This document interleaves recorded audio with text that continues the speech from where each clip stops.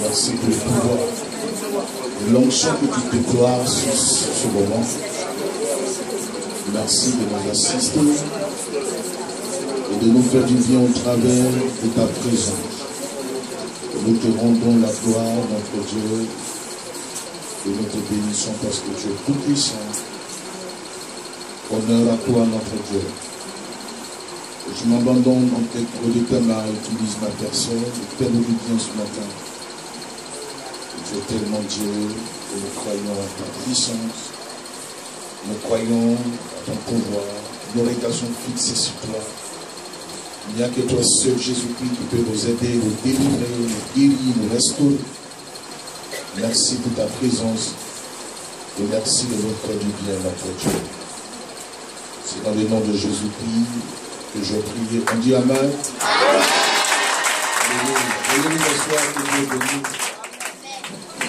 Je vous salue tous dans le nom de Jésus. Amen. Voilà, tous dans le nom de Jésus. Vous êtes ici un ministère prophétique. C'est un ministère de prophètes. C'est différent de ministère de pasteur, pastoral et tout ça. Le prophète est celui qui marche selon l'esprit. Voilà. Amen. Alléluia. Et notre ministère consiste à la destruction des œuvres de la sorcellerie. Souvent les gens voient ça trop simple. J'ai béni, le prophète va avec ça et va me recevoir. Vous êtes en trop habitué aller chez les marabouts. Amen. Nous réfléchissons sur la stratégie. Comment faire pour vous faire sortir des difficultés. Ce n'est pas comme vous pensez. Nous recherchons la pensée de Dieu. C'est ça qui est le plus important. Or, vous avez déjà une pensée quand vous venez ici. Amen. C'est ce qui est arrivé à Naaman. Quand Naaman allait voir le prophète Élisée, Élisée dit à Géasi, le prophète va et dit à ce monsieur de plonger sept fois dans le Jourdain. Et la Bible dit que s'est mis en colère. Il dit, je me disais, parce que ce n'est pas ce que je pensais, ce n'est pas ce qu'il devait faire, ce n'est pas ce qu'il avait dans la tête. Mais je me disais qu'il allait sortir, se présenter à moi en tant que prophète Élisée, et invoquer le nom de son Dieu. Et c'est tout. Et il me dit d'aller plonger sept fois dans le journal.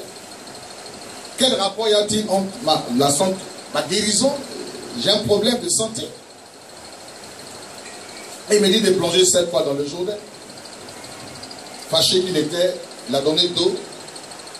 Et c'est comme ça que les gens disent, mais c'est le prophète qui a parlé, plonge, plonge-toi dans le Jourdain. Amen. Nous, on ne fera pas ce que tu penses. Nous sommes à la recherche d'un rima, que, la connaissance qu'on reçoit de Dieu, l'inspiration. Qu'est-ce que Dieu nous dit pour régler ton problème? Ça peut mettre un jour, ça peut mettre deux jours. Ne voyez pas ça comme du tricotage. Comme c'est le prophète Crasso, je n'ai pas de pouvoir, je dépends du ciel. Ça, je t'informe maintenant ce matin. Je dépends du ciel. C'est le ciel qui me donne des instructions. On m'a bien saisi Amen. Je n'ai pas encore entendu l'Amen. Amen. C'est-à-dire c'est le ciel qui me dicte ce qu'il a fait. si je ne reçois rien du ciel, je suis dans mon coin. Je me laisse. Non, allez, eh, eh, eh, c'est pas école de dimanche. Et les enfants disent là-bas Non, non, non, c'est pas école de dimanche, c'est pas un dimanche. Amen. Amen. Donc c'est le ciel qui me dit des choses à faire. Quand Moïse allait sur le mont Sinaï, il partait faire une journée, mais il a fait 40 jours. Amen. Amen. Quand vous venez, permettez au prophète de vous aider. Parce que vous savez bien qu'on appelle homme de Dieu. Il est à la fois homme que Dieu utilise. Il n'est pas Dieu, il est homme que Dieu utilise. Alléluia. Si on vous explique un peu les coups que je reçois par rapport à vous, vous allez peut-être me dire ne prêche plus. Le travail le plus difficile, c'est ça. Pourquoi vous passez par là gens? Ils savent que quand on se met dedans, le sorcier oublie de t'attraper. Moi, je suis habitué aux attaques. Je fais ce boulot avec beaucoup de passion. Amen. Quand vous venez ici, immédiatement, les, données changent. Le diable m'attaque. Il vous laisse un moment, puis m'attaque. Quand il finit d'essayer, il sait qu'il ne peut plus. C'est fini, il cède. Je suis guetté par tous les sorciers de la Côte d'Ivoire, du monde entier, de l'Afrique. Amen. Donc chaque jour que Dieu fait, je suis objet d'attaque. Quand les gens disent, ah mais le chétan attaqué, mais non, on ne peut pas exclure. Tu ne peux pas exclure une attaque de la vie chrétienne. Non, je suis attaqué, mais c'est normal. Si tu n'es pas attaqué, c'est qu'il s'attend à. C'est qu'il est avec toi. Donc quand le prophète prend du temps, du recul pour prier, vous devez le soutenir en prière. Oh, Mimi, il doit arriver, mais il vient quoi? Il vient quoi? Il te donne quoi? C'est l'onction qu'il reçoit qui vient te communiquer. Je ne suis pas né prophète. Même si dans ma destinée, j'étais déjà prédit, c'était déjà dit. Amen. Amen. Je suis devenu homme de Dieu tout récemment. Parce qu'il a voulu que je sois homme de Dieu. Ça dépend de sa volonté, pas moi. Si c'était moi, il n'allait jamais être prophète. Non, pourquoi? C'est maintenant que je comprends que servir Dieu, c'est bon. Sinon, mais le matin, on dit non, je suis prophète. Pourquoi? C'est pas parce que je suis nul. J'ai des diplômes, pas parce que je suis nul. Je suis intellectuel. J'ai des diplômes. Vous je suis allé à l'école, j'ai une licence en théologie, je suis en train de préparer mon doctorat. Je suis allé à l'école, j'ai une nouvelle licence. Je suis intellectuel. J'ai une formation.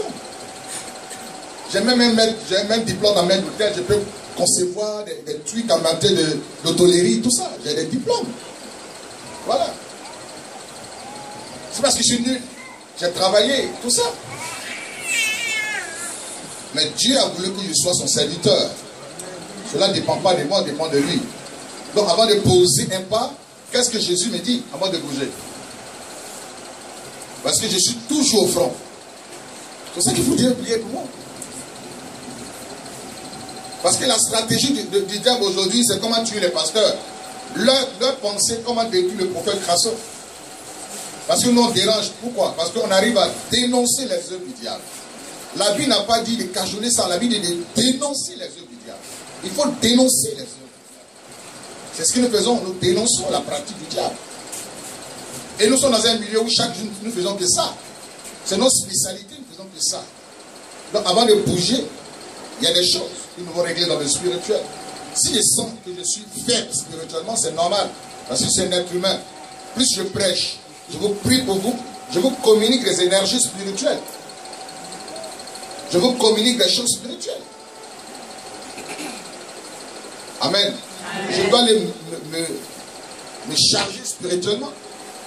Parce que quand Jésus-Christ, quand la femme a touché Jésus, il arrêté et dit, une force est sortie de moi. On vous communique ce qui est en nous, c'est ce qui est en nous qui est communiqué. Amen. Amen. Amen. Ne voyez pas ça comme du tic au tac. Je viens, le prophète va me parler vite, vite, puis c'est fini. Amen. Amen. Saint-Esprit. Il y a des gens souvent qui disent, non, Dieu m'a encore rien, ils sont choqués. Tu veux que je mente comme les autres S'il m'a rien dit, je te dis, m'a rien dit. Mais tu es prophète, mais ça ne veut pas dire que c'est moi qui parle. Il reçoit quelque chose de lui. Amen. Amen. Ah oui. Parce qu'il ne faut pas dire Dieu m'a dit, puis c'est pas lui qui t'a dit. Or, si on veut vous suivre dans ce système, on va tout, les gens vont toujours mentir. Or, je n'aime pas rentrer dans les mensonges. Si tu rentres sur le terrain du mensonge, le sorcier te tue. Donc, je suis très vigilant, moi. Non, j'attends que Dieu me parle. J'attends que je suis convaincu que je dois me lever pour aller dans tel village. Je suis convaincu que je suis armé, je suis assis spirituellement, et je pars au front. Quand c'est comme ça, je gère le dossier. Sinon, j'attends. J'attends toujours le bouquet de Dieu. Amen. Oui. Je peux être là, tu peux parler. Et puis Dieu, je ne sens pas le besoin de prier pour toi. Ce n'est pas un péché. C'est parce que je ne te considère pas. Non. C'est ça l'homme qui marche selon l'esprit. La Bible dit qu'un homme qui marche selon l'esprit, on sait où il vient, donc il est comme le vent. On ne peut même pas le comprendre. Or, quand il devient spirituel, ceux qui vivent selon la chair ne peuvent pas te comprendre.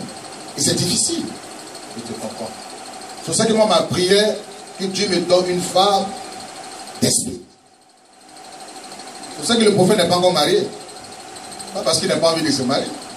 Mais il faut marier une femme d'esprit. Il doit comprendre que maintenant le prophète assis là, il ne veut pas qu'on la merde. Parce que moi je suis là, mon esprit ailleurs. Je suis en train de voir dans tel village une personne qui est en train de manger. Je prie. Il y a des choses que je vous explique, c'est trop, c'est des mystères, c'est trop puissant. Je suis couché dans mon salon, souvent le Saint-Esprit dit couche-toi. Je suis couché et puis je vois une vision. Moi seul, je suis en train de régler des problèmes. Ah oui? Quand tu t'établis sur une région, c'est pour régler le problème de la région.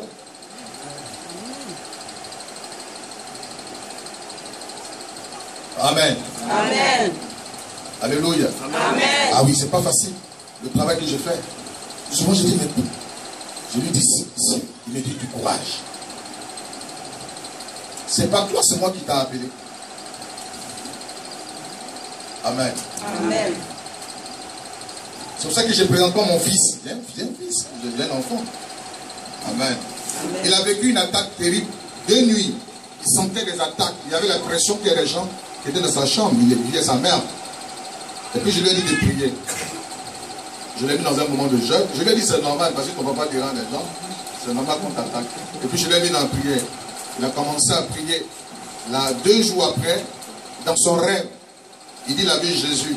Il lui dit, je suis avec toi, je te protège parce que j'ai appelé ton père. Et mon fils m'a appelé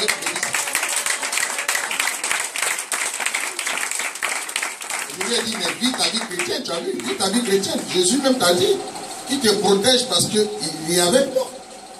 Donc, il ne faut pas avoir peur de l'attaque. Si tu ne pries pas, tu seras attaqué. C'est ce qu'il dit à mon fils. Il faut que tu pries. Pas parce que le prophète de ton père a prié, que toi tu ne pries pas, il faut prier. Il a compris. Il doit prier. Dieu l'a rassuré qu'il est avec lui. Mais parce qu'il néglige la prière, il faut qu'il prie. Amen. Amen. Or, si vous venez ici, vous pensez que c'est le prophète qui doit tout faire. Tout faire que vous, vous n'avez rien à faire. Et que vous devez vous asseoir là sans prière. Que vous devez observer seulement. Non, tu ne feras qu'exaucer ta foi. Ah oui. Si tu ne participes pas, comment Dieu va toucher le cœur du prophète? C'est qui a fait que Batimé a été écouté parce qu'il a crié Batimé était couché par il criait. Sauf moi, fils de David. Les gens disent non, mais ce monsieur, il n'a pas ton temps, il est fatigué. Et plus il criait, plus il interpellait Jésus. Jésus était fatigué, mais il s'arrêtait. Il dit Qu'est-ce que tu veux? Qu'est-ce que tu veux? Et Jésus dit Que cela soit fait selon ta foi. Parce qu'il avait la foi en lui. Qu'est-ce que tu as? Il y a des gens, quand tu les écoutes, ils sentent qu'ils n'ont pas de foi. C'est un semblant de foi. Mais les écoutants, ils n'ont pas la foi. Parce que quand tu leur dis une parole, ils ne croient pas ça. Quand tu leur dis Dieu fera quelque chose, mais le prophète prie quand même pour moi. Mais le prophète est un homme de parole. Ce qui déclare, c'est ça par la foi. Il faut saisir ça par la foi. Il te donne parole, saisis ça par la foi. Je suis pas un prieur. Je suis désolé. Je suis un homme d'action. Je parle. Je déclare des choses. C'est ça la différence entre moi et le prophète et entre le pasteur. Ne faites pas de nous des prieurs. Amen. Amen. Alléluia. Amen.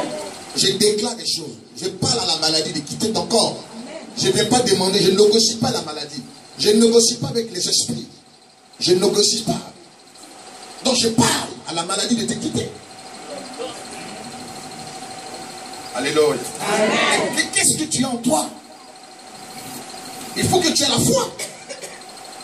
Quand vous venez ici, la foi.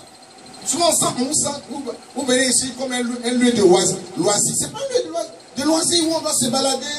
J'ai surpris des femmes en train de causer tout à l'heure patron aux toilettes, dans la chambre. Je leur ai dit, mais vous faites quoi ici? Pendant que le dirigeant est en train de diriger, vous êtes en train de balader. Mais comment tu vas prendre ton sujet au Seigneur Ah oui Je ne suis pas le super homme de Dieu, super. Ça n'existe pas. Non. pourquoi y a le super homme de Dieu? Pourquoi Ça ne m'intéresse pas d'être super homme de Dieu? Je vais accomplir ma mission. C'est tout ce que je veux. Pas être super.